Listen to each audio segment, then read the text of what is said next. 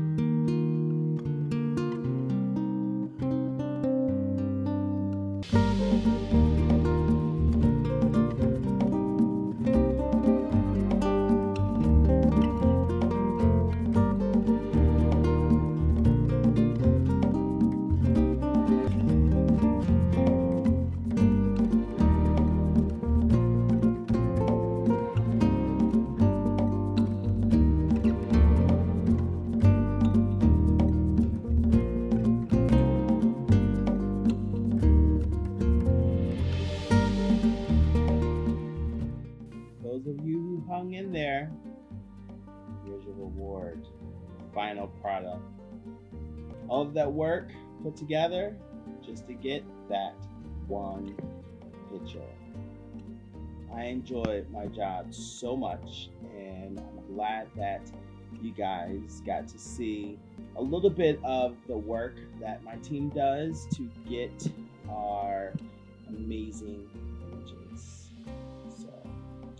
I hope you guys enjoy this. Let me know your thoughts. You like it, you don't like it, you want to see more, I have some more content.